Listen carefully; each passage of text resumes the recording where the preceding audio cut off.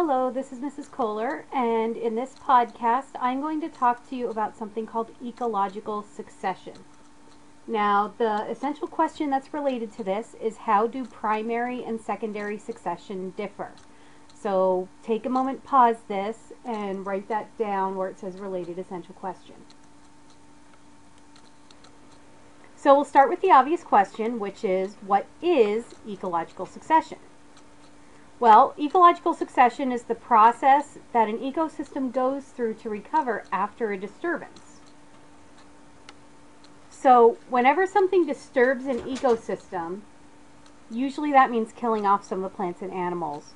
There's a set process that it will go through in order to recover from that and go back to normal. So, an ecological disturbance is anything that disrupts the normal functioning of the ecosystem.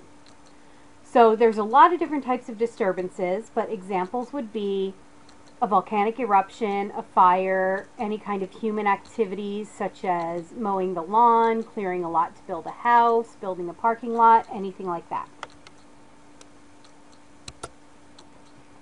So in this picture, what you actually see is a lava field, and this is in Samoa. I actually took this picture when I was in Samoa.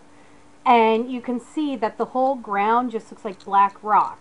And you have a few plants in it, but not very many at all, because when the volcano erupted, the lava covered over the existing soil. So the ecosystem had to start back over from square one. This is about 25 years after the volcanic eruption, and you can see that very little has happened in terms of the ecosystem recovering. Now, there are two types of succession. There is primary succession and secondary succession. Primary succession occurs after something like the volcanic eruption that I just showed you a picture of. The soil is either completely destroyed or covered over. So it can happen from a volcanic eruption, from an earthquake exposing new ground that wasn't there before. It could happen from um, mudslides washing the soil away so that all that's left is bare rock. Primary succession takes a lot longer than secondary succession because the soil has to rebuild. So there's what are called pioneer species, and pioneer species are the very first species to appear after a disturbance, and they will actually begin the formation of soil.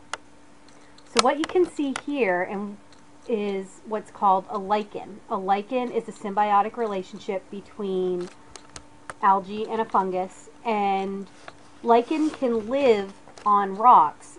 They start breaking down the rocks and start the process of soil formation. So you would get species like this right after a severe disturbance to start building the soil back up again. Now, secondary succession happens a lot more quickly, and that's because even though there's been a disturbance, there's still soil there. So, this would be like after a fire, or after you mow the lawn, or after you cut trees down in a forest. There's still soil, there may even be some plants still there.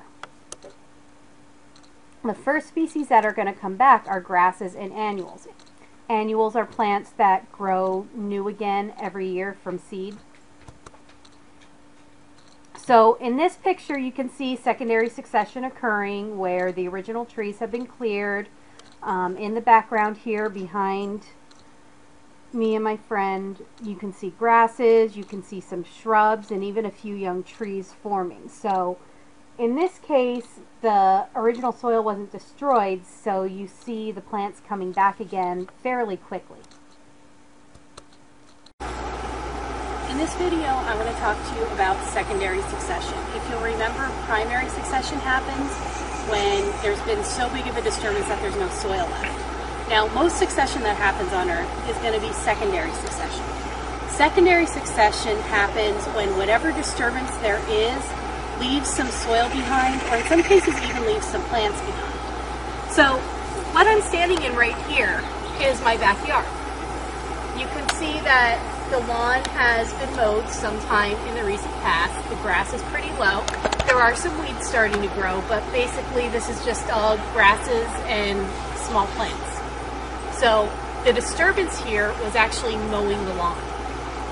Now, if you allow this to grow without mowing it, you'll get an area like up here.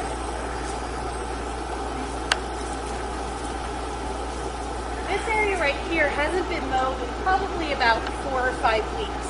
So this grass has had a chance to grow. And there's also some weeds mixed in here. It's significantly taller. So it looks different from the really well manicured mowed lawn. So this is the next step in succession. After that, if you continue to not mow, this hasn't been mowed in about a year. So this area right here is starting to get some taller weeds. It's also starting to get some small bushes and things with woody stems. And when you look up behind me, this is forest. This hasn't been disturbed in, judging by the trees, probably about 50 or 60 years. This is a secondary growth forest. Um, this part of Pennsylvania was clear cut, so this is not the original forest that was here. But this is all grown back since it's been left undisturbed. So this is secondary succession when there's still some soil or some plants left over. Now, after, at the end of either primary or secondary succession, you get what's called a climax community. A climax community is the final stage in succession, and it's what you usually think of as whatever type of plants you would normally see in that type of biome. So where we live in a temperate deciduous forest, our climax community would be hardwood trees like maples and oaks with very few softwood trees like pines mixed in. But to get to a climax community, it takes hundreds of years. So in Pennsylvania, 98% of the state was clear cut for logging. We have not reached our climax community again. The woods that you see around us are all fairly young trees. We have not recovered back to a climax community. And here you see a diagram of succession like similar to the one that's on your handout. So after a disturbance, you start out with the annual plants, the flowers and grasses. Then you start getting perennial plants and grasses. Perennial means they come back year after year. Then you start getting shrubs and maybe some small trees.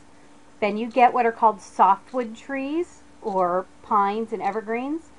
And then eventually they will be replaced by hardwood trees such as maple, oak, and beech. So that is ecological succession and see you in class.